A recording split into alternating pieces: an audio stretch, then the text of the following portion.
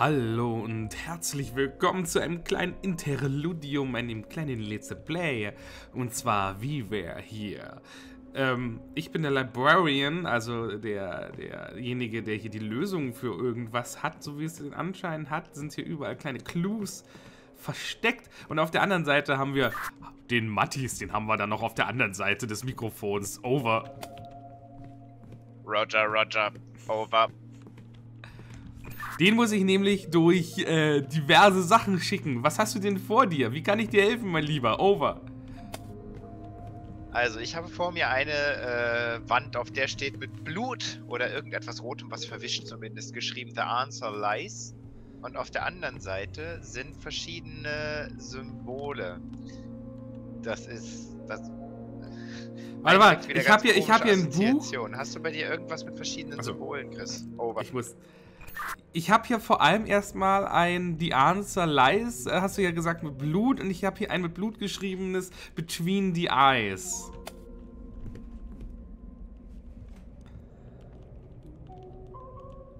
Over. Weil meine Symbole liegen zwischen zwei Augen, die auf der, äh, auf den, auf den Säulen links und rechts davon sind. Oh. Haben die Augen verschiedene Farben, Over? Augen sind beide rot. Ich wiederhole, beide rot. Over. Kannst du mit den Symbolen irgendwas machen? Over? Ich kann die anklicken. Die Steine reindrücken. Over. Also ich habe hier eine Karte, die verschiedene Kombinationen, also alle Kombinationen an verschiedenen Augenfarben zeigt. Und zwischen zwei roten Augen habe ich hier einen Kreis der geixt ist. Kein Sternchen, sondern einfach bloß äh, zwei Striche, die geixt sind. Und auf der anderen Seite äh, rechts daneben ein, eine Art äh, kurzes Brecheisen. Also aus drei Strichen. Unten ein schräger Strich, dann nach oben ein schräger Strich und dann wieder nach rechts unten ein schräger Strich. Ähm, ja. Over. Okay, dann äh, tippst ich jetzt einfach mal diese beiden Symbole an, over.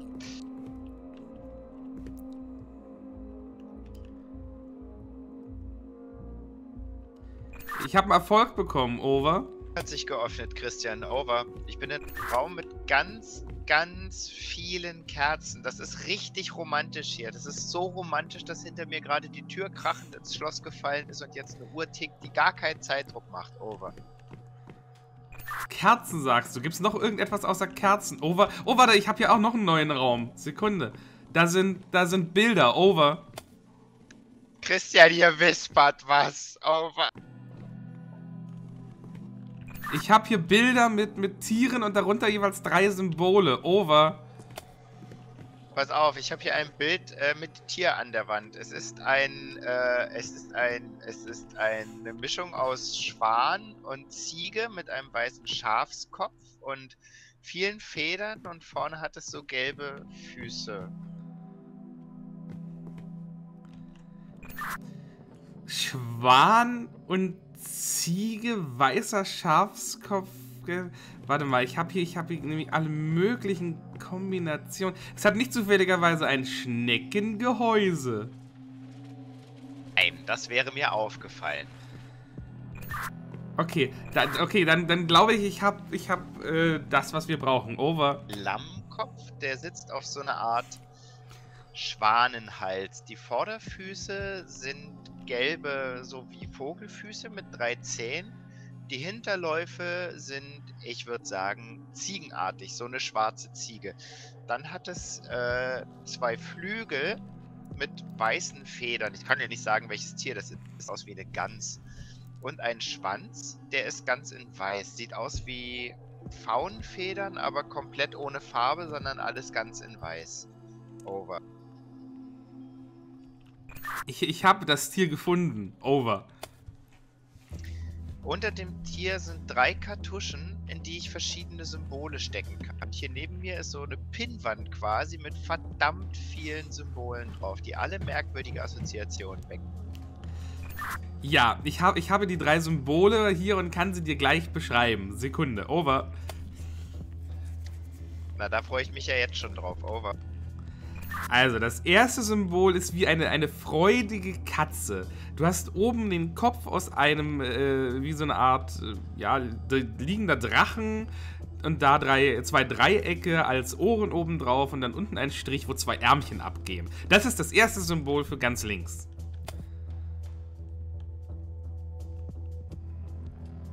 Symbol ist eingesetzt, over. Das zweite Symbol ist eine Schildkröte auf einem Spieß. Over. Sehr treffend beschrieben, over. Ich nehme das zweite Symbol.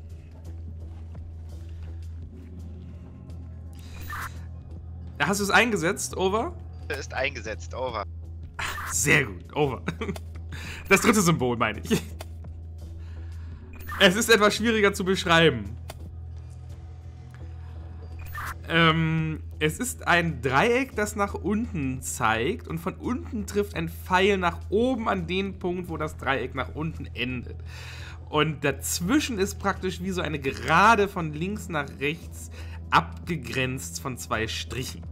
Over. Ich habe den X-Wing gefunden und setze ihn jetzt ein. Oder so.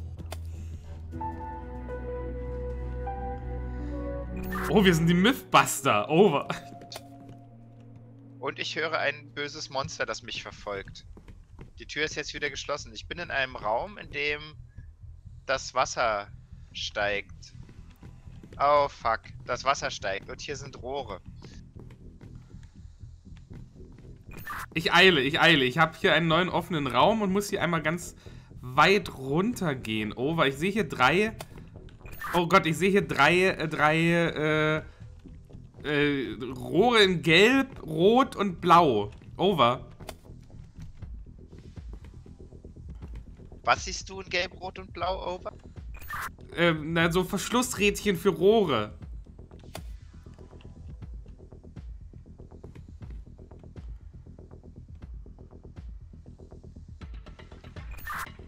Soll ich irgendwas drehen? Soll ich irgendwas machen? Over? Also, auf der Tür steht in grün das Wort Purple. Bitte was? Auf der Tür hier unten steht in grün das Wort Purple. Das ist der einzige farbkodierte Hinweis, der in diesem ganzen verfickten Raum ist. Over. Ich, ich habe hier gelb, blau und rot. Woraus kann man Purple? Purple kann man ja aus blau und rot machen. Und grün aus. aus. aus was kann man grün machen? Grün machst du aus Gelb und Blau. Ah, dann wirst du vermutlich Blau brauchen, wa? Weil das in beiden drin ist. Oh. Das ergibt Sinn. Vielleicht sollte ich Blau einmal drehen. Bitte, ich ertrinke nämlich gerade. Ich habe Blau gedreht. Ist was passiert? Nein, nicht das geringste, over. Vielleicht sollte ich jetzt noch einmal äh, rot drehen.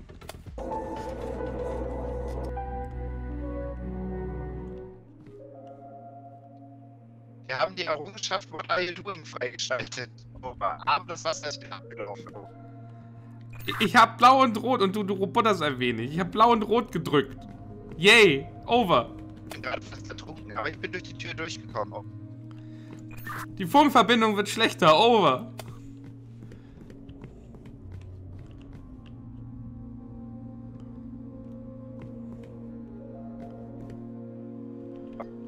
Äh, ver ver verstehst du mich noch? Oh. Ja, ich kann dich hören. Over. Ich äh, bin jetzt in einem Raum mit einem Hebel, der vor einem Tor ist. Ich ziehe einfach mal an dem Hebel um.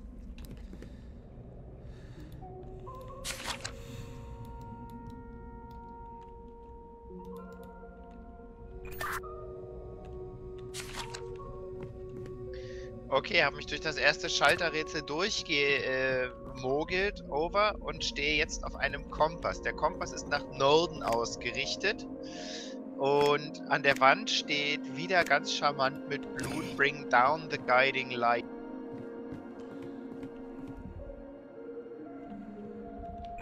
Bring down the guiding light? Fackel ausgemacht. Jetzt ist es gruselig und dunkel bei mir. Ich gehe weiter, over.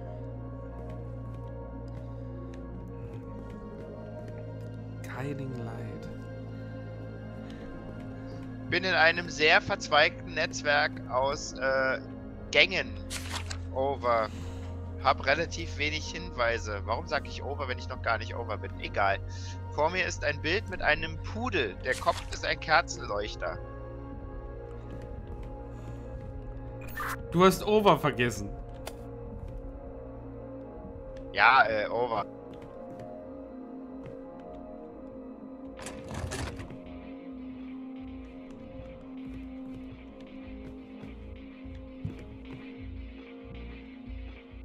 Christian, hast du irgendetwas an, äh, Ja, Sekunde, Sekunde. du mir geben kannst? Over. Ich hab, ich hab, ich hab hier einen, einen, einen Kronleuchter, den ich runter machen kann. Und dann leuchten, leuchten hier Sachen. Auf einer Karte. Dafür müsste ich wissen, wo du bist.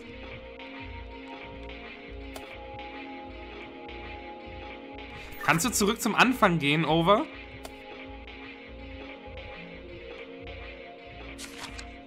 Bin zurück am Anfang. Over. Dann geh jetzt geradeaus, bis eine T-Kreuzung kommt. Over.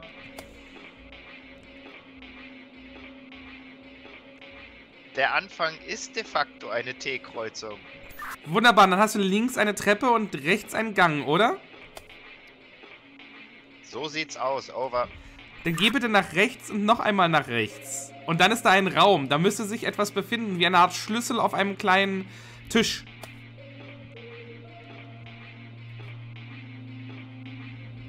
Äh, hier befinden sich ein Tisch drin, der ist leer, aber ich habe einen blauen Hebel, den ich ziehen kann. Over. Ziehe den blauen Hebel.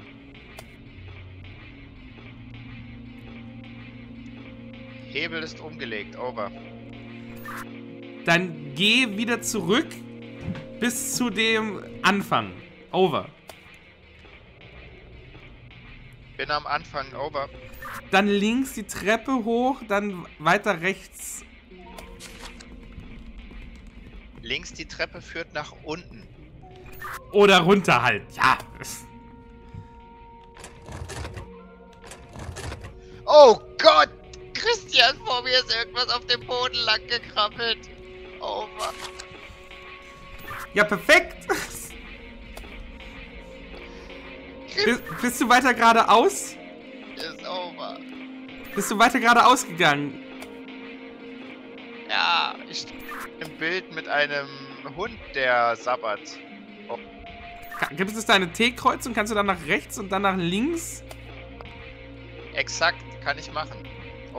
Mach das mal. Da müsste da irgendwo in, in dem Raum, der dann kommt, ein grüner Hebel äh, sein.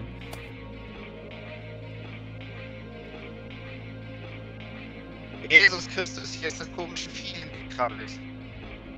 Ich bin in einem Raum, ja, da vorne ist der grüne Hebel. Over. Kannst du aus dem Raum raus weiter? Gibt's da noch den Weg?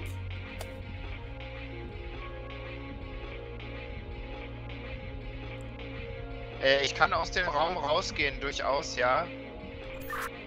Versuch erst einmal bitte den grünen Hebel.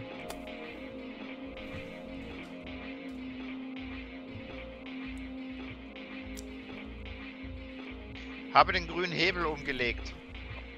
Hat sich der Ausgang verschlossen? Der grüne Ausgang hat sich verschlossen. Over. Dann musst du jetzt den ganzen Weg wieder zurückgehen bis zu dem blauen Hebel und den noch einmal betätigen.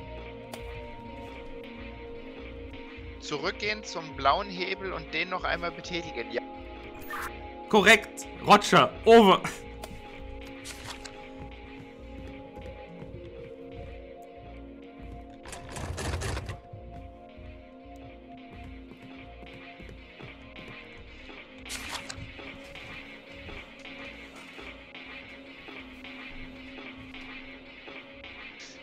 Irgendjemand hat die Fackeln am Anfang wieder angemacht. Over. Einfach ignorieren. Was soll schon passieren? Over. Schön, dass du optimistisch bist. Hab den blauen Hebel jetzt so umgelegt. Over. Dann aus dem Raum bitte wieder raus und diesmal nach rechts weitergehen und dem Gang folgen. Bist du dir sicher, dass ich das will, Over? Naja, es ist der Weg nach draußen, Over.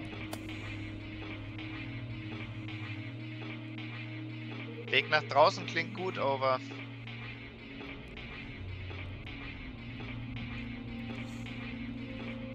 Du müsstest dann in einen Raum kommen mit mehreren Abzweigungen. Over. Bin in dem Raum mit mehreren Abzweigungen. Over. Einmal rechts die Treppe nehmen. Da müsste eine grüne Tür sein, die ist offen. Dann befindet sich in dem Raum ein roter Hebel. Den bitte betätigen. Over.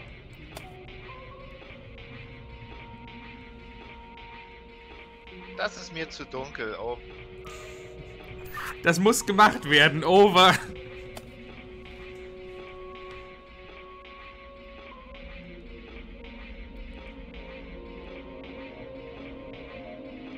Roter Hebel ist betätigt. Over. Zurückgehen und den blauen Hebel betätigen. Over. Bitte was? Ich soll jetzt den ganzen Weg zurück und nochmal den blauen Hebel betätigen? Over. Korrekt. Over.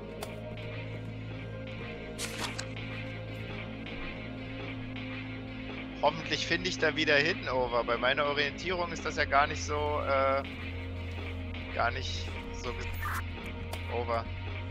Der blaue Hebel, das ist doch nur ein Gang. Over. Steh vor dem blauen Hebel. Habe den blauen Hebel betätigt, Over. Nun zum grünen Hebel gehen. Over.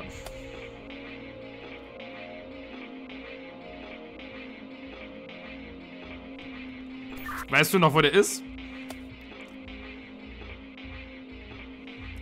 Ich würde sagen, ja, Over. Also raus aus dem blauen Hebelraum, links entlang die Treppe nehmen, dann weiter geradeaus, äh, rechts entlang und dann bist du in dem Raum.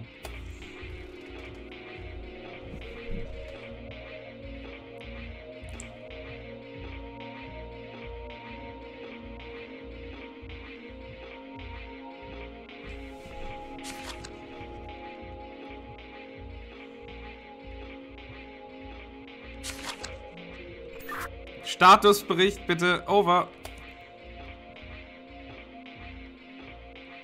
Bin jetzt gleich in dem Raum, glaube ich. Over. Oder? Weiß ich nicht. Warte mal. Lass mich mal weitergehen. Das könnte hier gewesen sein. Ha! Hab einen grünen Hebel gefunden. Den ich jetzt. Over. Korrekt. Hebel betätigen und dann links daneben durch den grünen äh, Gang gehen und dann sofort links den Ausgang benutzen. Over.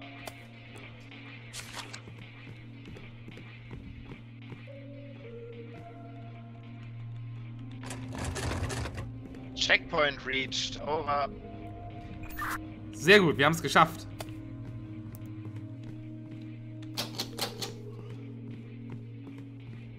Ich bin hier draußen auf einem äh, Schachfeld. Es ist Schnee rundherum. Es ist bitterkalt und sehr, sehr laut. Over. Ein Schachfeld. Ich äh, guck mal, ob ich irgendwas finde. Schau du dich mal um. Over. Zusätzlich dazu habe ich hier so irgendeinen komischen Generator, der rot blinkt. Und an der Seite ist eine Druckanzeige, würde ich sagen. Ich habe hier einen Hebel und kann den Generator anwerfen. Oh,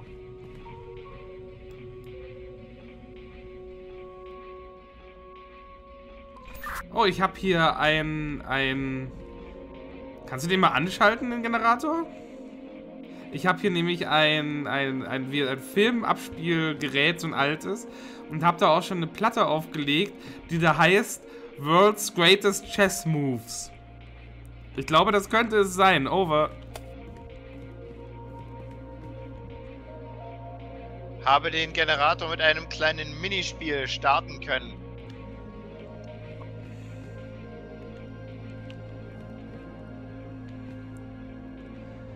Das hat ja leider nichts aktiviert. Ich krieg den...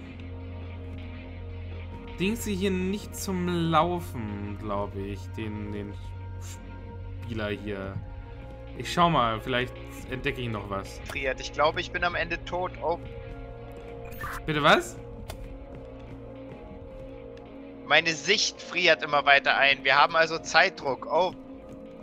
Kannst du nicht wieder ins Warme gehen? Ich krieg hier den Generator nicht an. Äh, nicht den Generator, sondern den Plattenspieler.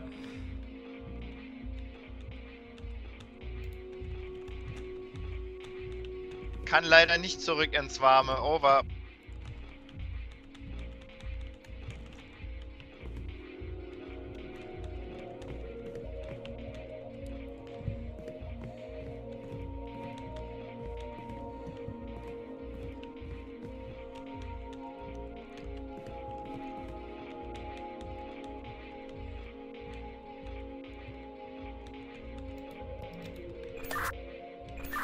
Es geht nicht. So. Bitte was? Sichtfenster auf zwei Dritteln des Bildschirms. Over. Es geht nicht. Sichtfenster auf einem Drittel. Over. Christian, du musst den Generator anschalten, indem du dreimal hintereinander die Nadel in dem kleinen grünen Bereich zum Stoppen bringst. Over. Also ich habe keinen Generator. Ich habe hier nur so einen, so, einen, so einen Filmspieler, aber der geht nicht an. Ich drücke da E, aber es passiert nichts. Dann finde irgendwas anderes, Christian. Over. Ich schaue mich noch mal etwas um. Over. Lass dir ruhig Zeit. Over. War der Plan. Over.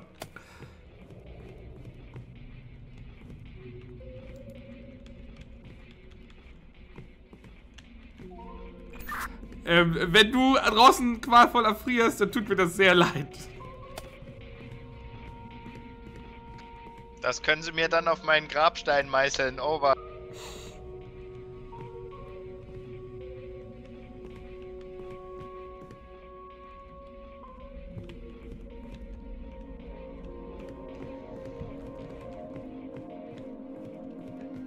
Christian, ich sehe fast gar nichts mehr. Wenn das nochmal passiert, habe ich Gefrierbrand und bin tot. Over.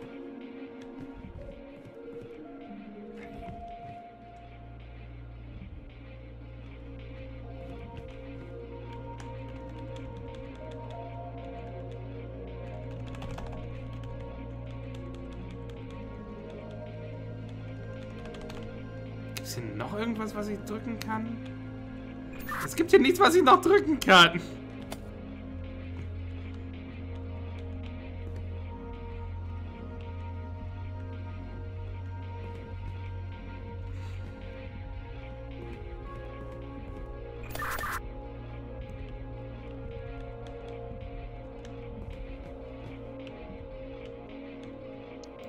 Versuche mich am Generator zu rubbeln, aber es funktioniert nicht. Aber